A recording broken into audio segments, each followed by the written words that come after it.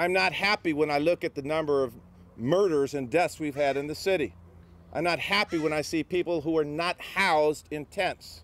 They're living in tents on streets and they're not getting the services they need. I'm not happy when I see the fentanyl issues that are killing communities, literally. Impassioned answers to questions following a news conference at Rainier Playfield, called by Mayor Bruce Harrell to unveil a $115 million a year budget for Seattle parks. Everything from climate change to meeting the needs of uh, BIPOC community. That budget includes nearly 600,000 to winterize, reopen and maintain all public restrooms, 3.6 million to add 26 park rangers. Currently, there are 2, 2.4 million to expand community center hours, and 600,000 to clean up graffiti and vandalism.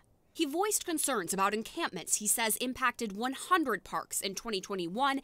He says they now affect a few dozen. That if a person has nowhere to sleep, you can't put a person in jail because that's their only means, but you could put reasonable restrictions in the parks to make sure you don't have syringes in the parks.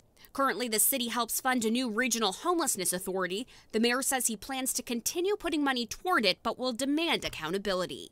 He also confirmed he plans to ask a federal judge to release Seattle police from the consent decree process while continuing reforms. So Seattle, stop playing small ball. Let's play big ball. Let's, let's attack racism. Let's attack police reform. Let's revitalize our, our downtown. That's, that's big ball. In Seattle, Erica Zucco, King 5 News.